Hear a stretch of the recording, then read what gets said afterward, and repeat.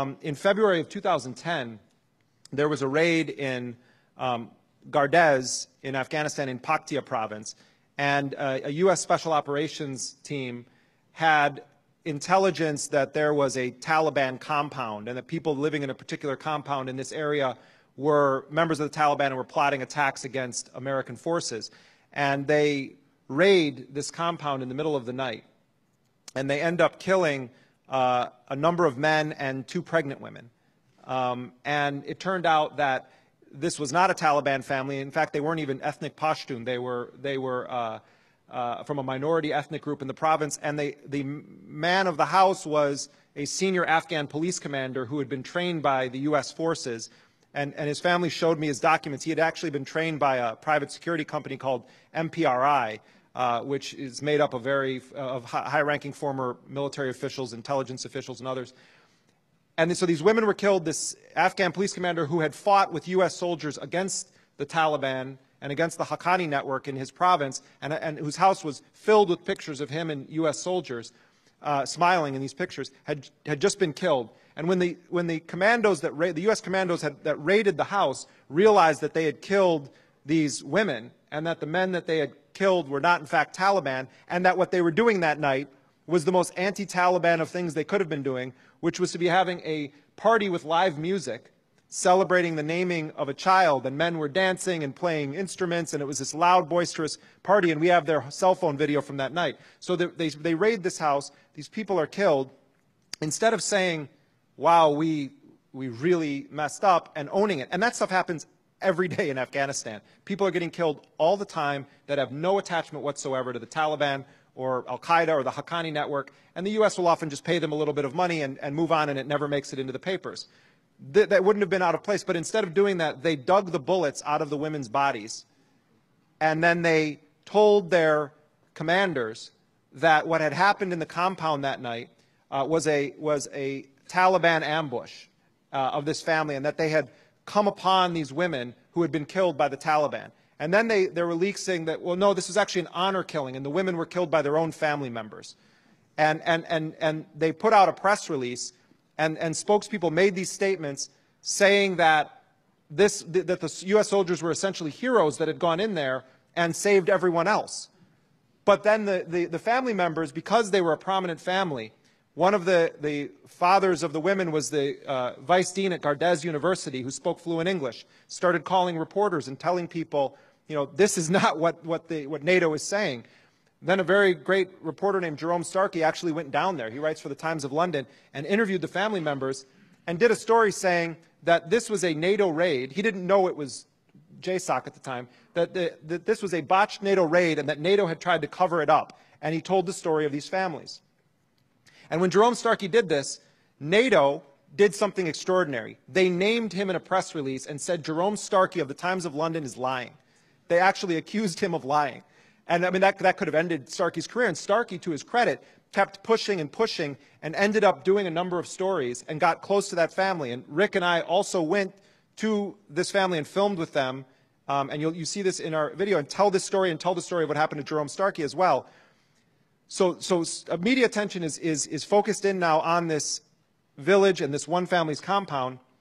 And eventually, uh, NATO calls up Starkey and they said, we're about to put out a press release. We're going to change our version of events. And they admit that their forces had killed, that NATO forces had killed these pregnant women and that the men were not Taliban commanders. Um, so the family told me and told Jerome Starkey the same thing, which is that they got a call and, and, and a person they believed was General Stanley McChrystal was going to be coming to visit them. And at the time, McChrystal was the commander of all U.S. and NATO forces in Afghanistan. And they actually were plotting, they wanted to kill General McChrystal. They wanted to stab him to death when he came into their home. And one, and one of, the, one of the, uh, the, the, the men told me that when, when they did this, uh, to my family, I wanted to put on a suicide vest and blow myself up among the Americans. Remember, these were U.S. allies. And now they're saying, I want a suicide vest and I want to kill General McChrystal, who was the leader of the war. And, a, and an imam at their local mosque said, no, you're not to do that. You're to give him hospitality like our people do, and you're welcome him into your home and hear what he has to say. So they thought that General McChrystal was coming to see them. They called Jerome Starkey. Starkey goes down there with his photographer, Jeremy Kelly, and they're waiting with the family, thinking that McChrystal's going to show up. And up pull, pulls this convoy of vehicles with countless uh, Afghan uh, military officials and some Americans interspersed with them. And they, in the center of this crowd is a guy with uh, a name tag that says McRaven on it and, and has three stars um, on the lapel.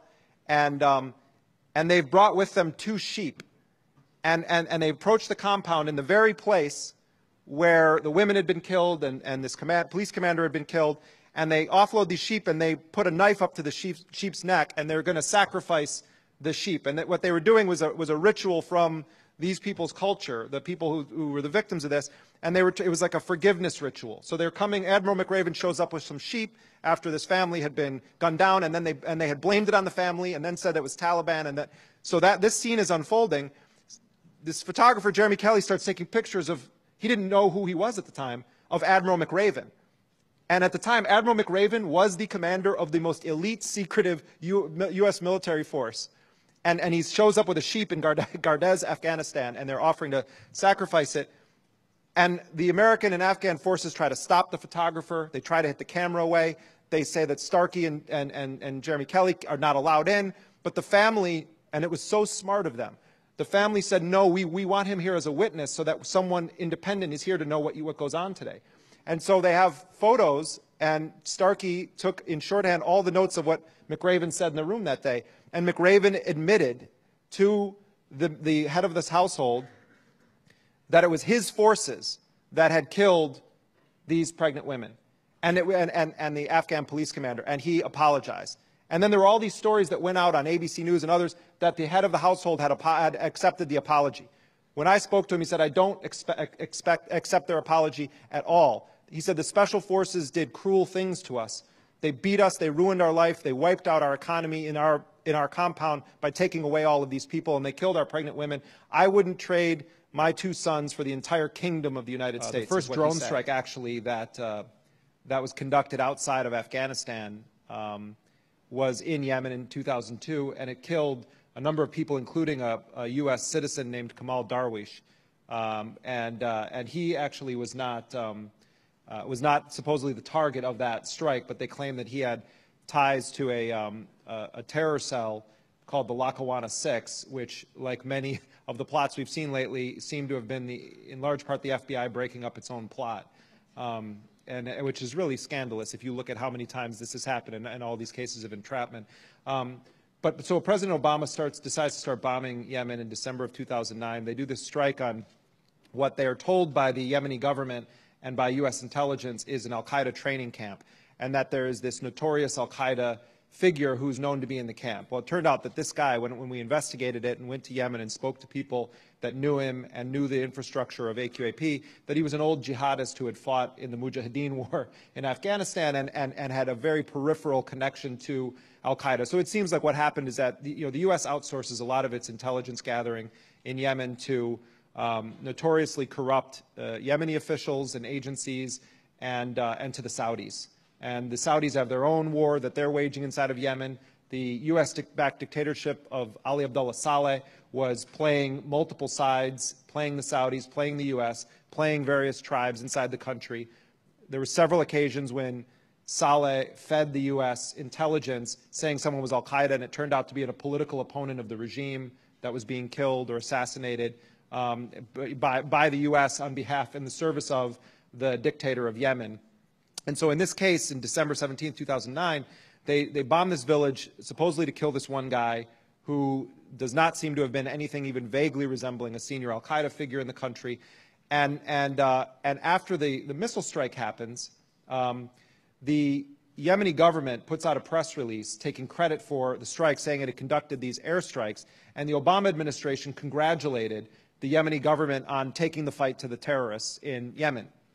Uh, a number of tribal leaders in Yemen got phone calls from this small, poor Bedouin village called Al Majla uh, that this missiles had slammed into the area and had shredded people into meat.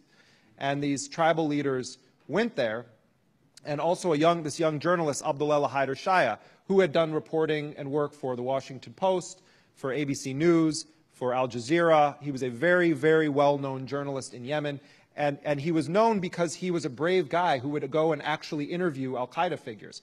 Much of what the United States knows about uh, certain leaders in Al Qaeda come from the, comes from the reporting of Abdulelah Haider Shaye. He, if you, you could look at it one way and say it was, he was a very valuable guy to have out talking to these people because it helped the U.S. intelligence officials understand, or operatives understand, who it was they were supposedly trying to kill.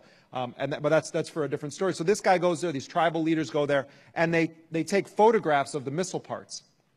And they then share, show them, broadcast them on Al Jazeera and other outlets, and share them with Amnesty International. And Amnesty International has a, uh, a weapons expert come in and analyze them, and they determined that they were uh, that there it was a cruise missile attack. And, and, uh, and when, when Rick and I were in Abyan province, we had the parts filmed. They're still there in the desert, by the way. You can go if you want to try to go to El Majil, you can go there, and they're still in the middle of the desert. Uh, with General Dynamics and Made in the USA right there visible, and we show this in our film. We show the, the aftermath of this bombing and, uh, and the missile parts that were still there, you know, at, well after the bombs had dropped. But the U.S. also, uh, but the, the, the other uh, bombs that they found there were cluster bombs, which of course are banned under, under international conventions. And uh, the cluster bombs are basically, I, I, saw the effect of them when the U.S. was using them in the Kosovo War in 1999. I, I went to the Niš marketplace after it was bombed um, in Serbia and saw the aftermath of it. They're like flying landmines, and they shred everything in its path into, into meat and limbs, and it is horrifying to see the aftermath of any bombing, but cluster bombs are a particularly brutal weapon.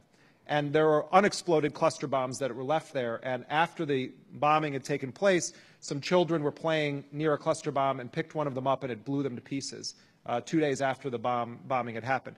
So they take these pictures, they send them to Amnesty International, and these sheikhs, tribal sheikhs, organized a gathering to say that this is not the Yemeni government that did this because Yemen doesn't have these missiles. Amnesty does an analysis of them and determines that they were in fact U.S. weapons and that only the United States could have been responsible for that bombing. And so this sort of scandal was brewing inside of Yemen because the people who were killed there, there were at least 46 people killed. Um, 14 of the people killed were women and 21 were children. Uh, when the Yemeni parliament, which is, is, a, which is supported by the United States, went to investigate it, they listed all of the dead, their ages, their names, their genders, and I got a, a, a, copy of that report and, and have the list of every single person that we know of that was killed in that strike. And we added it up, and it was 14 women and 21 children among the 46 dead. And, uh, in the pursuit of trying to kill this one person who the President of the United States had been told was this high-value target, who everyone in Yemen says was a, an older mujahideen who had primarily done his jihad in Afghanistan and not inside of Yemen. When this started to become public, this Yemeni journalist was going on Al Jazeera and was helping other U.S. media outlets report that story, that it was in fact a U.S. strike. U.S. officials were denying it and eventually then anonymously said, yes, we were behind the strike, but General David Petraeus said that uh, no civilians were actually killed in the strike and that it's all a big exaggeration, which was very offensive to Yemenis of all political stripes, and so it was an enduring scandal. And this one journalist was really pushing this story. And he continued to report on other, on the expanding U.S. air war in Yemen. And one night, in the middle of the night, he was, uh, he, in the middle of the day, he was out with a friend of his who was a political cartoonist, and they were shopping, and he was snatched by U.S.-backed, uh, U.S.-trained counterterrorism forces in Sana'a, the capital of Yemen, and was taken to the political security prison and was beaten uh, bloody by the security services and told that he was to stop talking about the missile strikes. And then they released him onto the streets. And what this journalist did was to go straight to Al Jazeera and say, I was just beaten by the political security officers, and, and they're trying to stop me from talking about the U.S. missile strikes that are happening um, in the country.